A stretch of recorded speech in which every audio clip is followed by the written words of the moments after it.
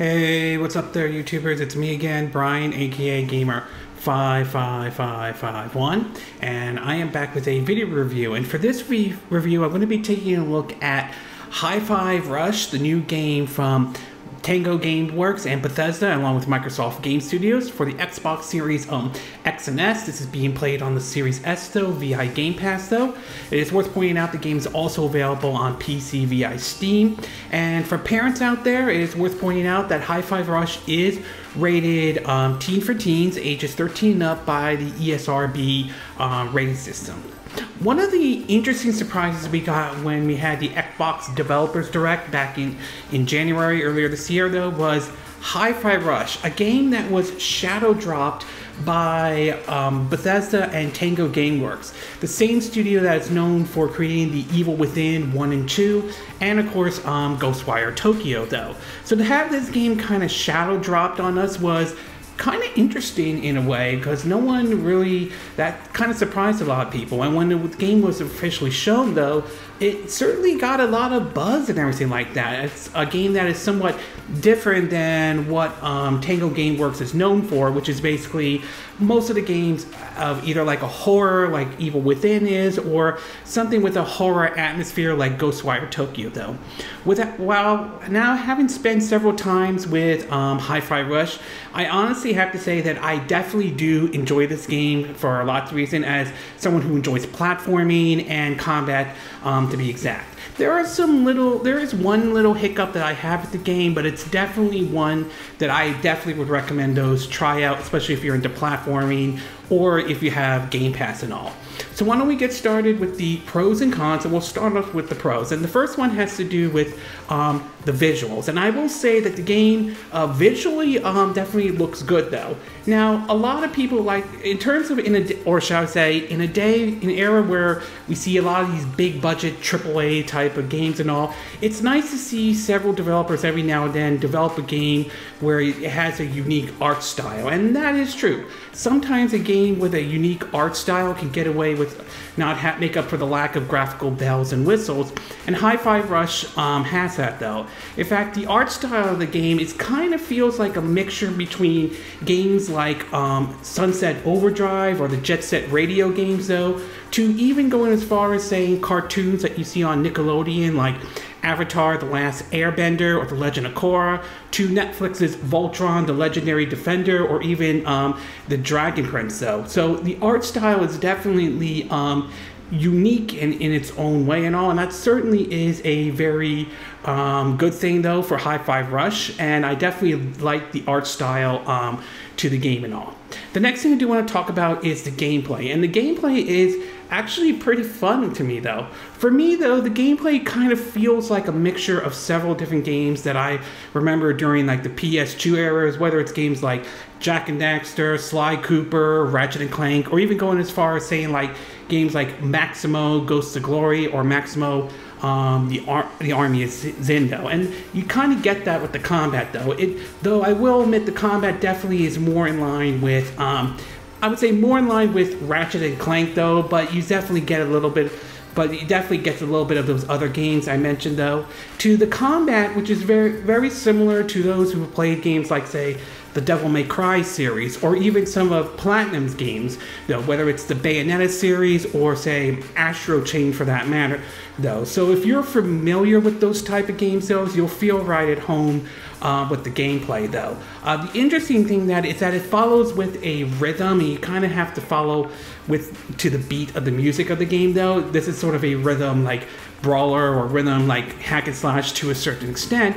And if you time it correctly, you could do a lot of damage to um, the enemies and all. So it's a really neat idea for the combat though, and I definitely like the PS2 era mixture of some of the gameplay to some of the gameplay that um, Platinum is well known for. One other thing to point out is that you do also have the ability to switch to three different characters that will um, that you'll unlock throughout the game. Though um, Peppermint, whose arm was like this laser, can be used to unlock not only um, certain like platforms and all, but can also take out enemies' shields if they have like a force field or something like that. There's another character, um, I forgot his name um, to be exactly, but he has the ability to break, you know, heavy objects and shields and all. And Korza, if I'm saying her name correctly, who you unlock after you beat her, has the ability to sort of like stun enemies, to even um, go into areas that are blocked by fire and all. So they come into play as in terms of ranging from the combat side to unlocking like maybe hidden secrets throughout um, the levels and all. So from a gameplay perspective, it's definitely um, fun though. And last but not least, as far as this going on the series on the Xbox Series S goes, um, the game runs pretty well on the um, Xbox Series S. Yes, I'm pretty sure it's not going to have the exact bells and whistles as the Xbox Series X or the PC does, but visually it still looks fine. As I said, sometimes an art style can make up for any graphical bells and whistles.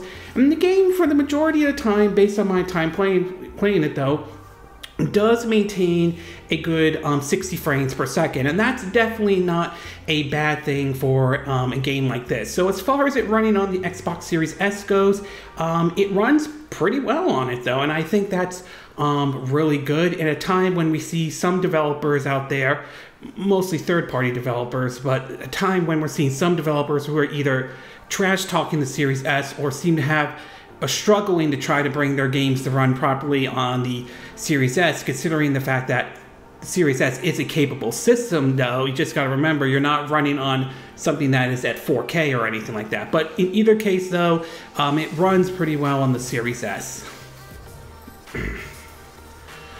okay, we're going to take a quick break, and when we get back, we'll get to part two, which is the con. So we'll take a quick break, and we will be right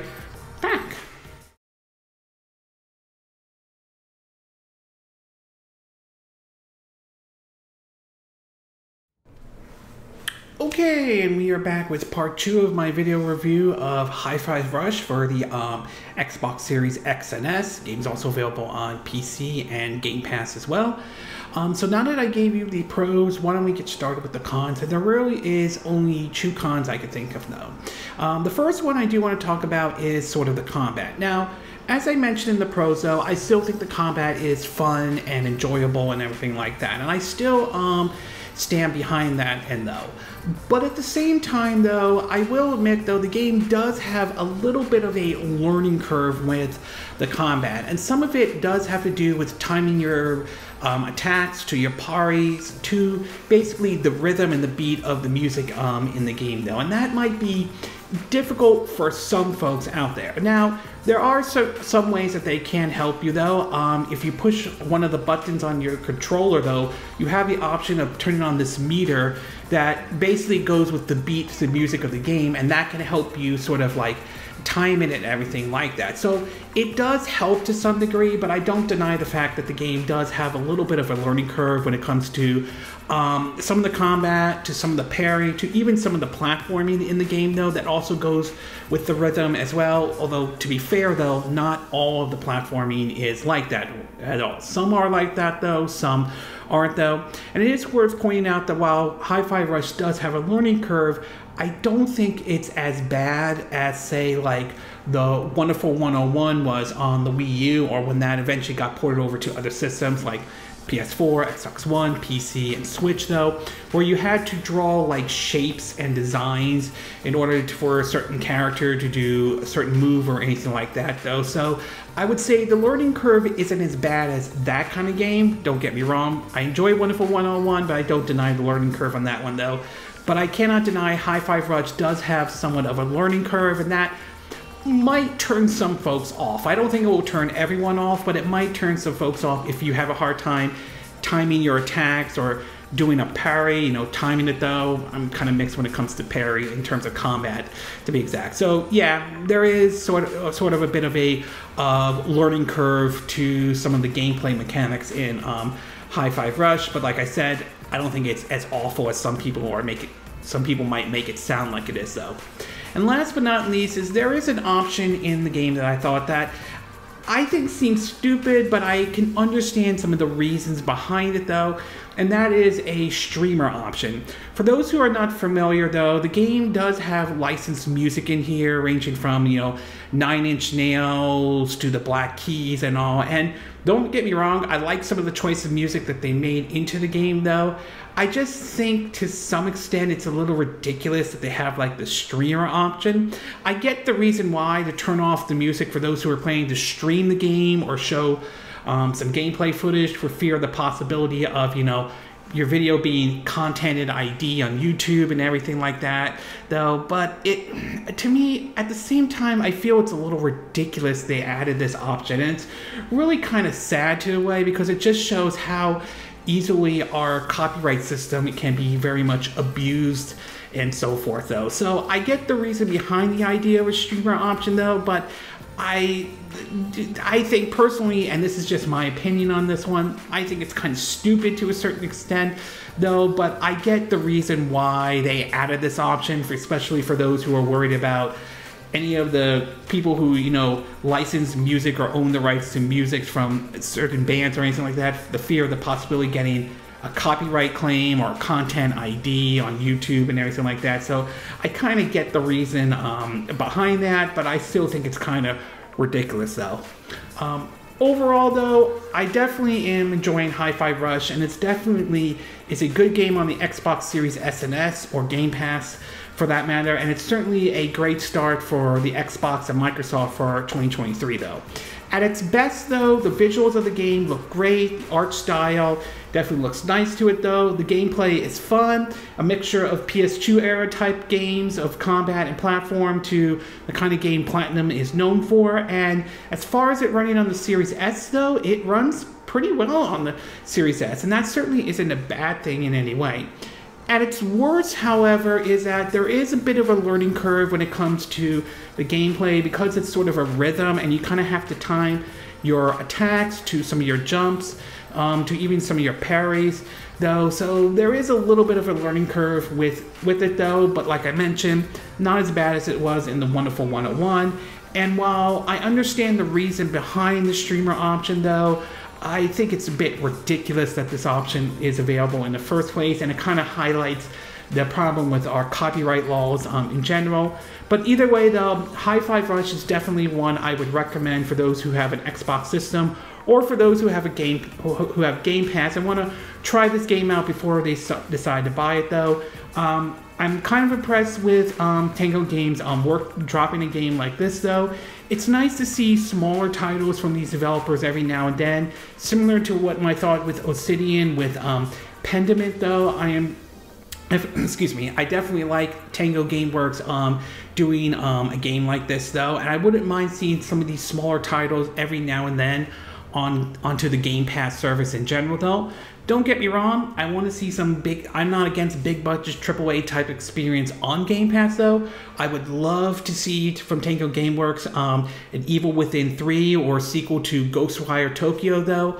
But at the same time, I'm not opposed to having these smaller titles or new IPs on Game Pass or on Xbox systems um, either, though. So I definitely enjoy this type of title, though. I would be down for a sequel to Hi-Fi Rush if that ever happens or anything like that. And I def this is game one game I definitely recommend for those who has an Xbox Series X and S or PC, or if you have um, Game Pass um, in general, though.